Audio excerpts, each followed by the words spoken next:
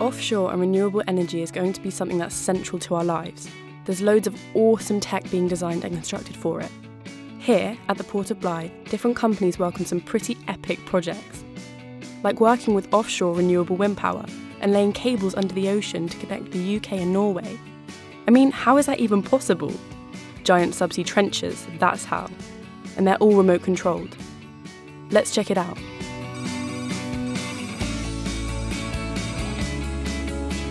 IHC. Design and build offshore pipeline equipment, which can range from the towers that take the pipeline and lay it on the seabed, and then the subsea vehicles, which can be used to plough trenches and bury the pipeline.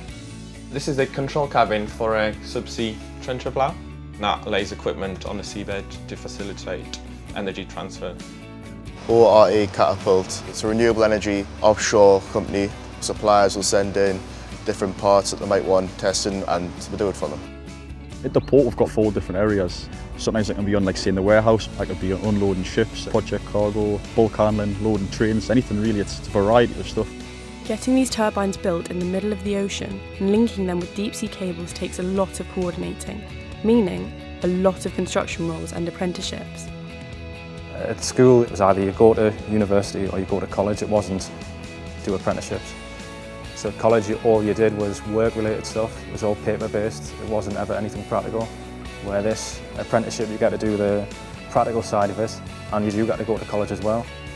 When you first start off as an apprentice, it isn't the best paid, but you have to think you're learning. You're trying to learn your trade.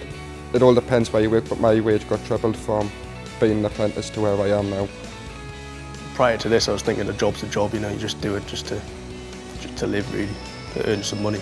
But now I, I do enjoy getting up in the morning and coming to work, which I suppose that's the biggest part for me.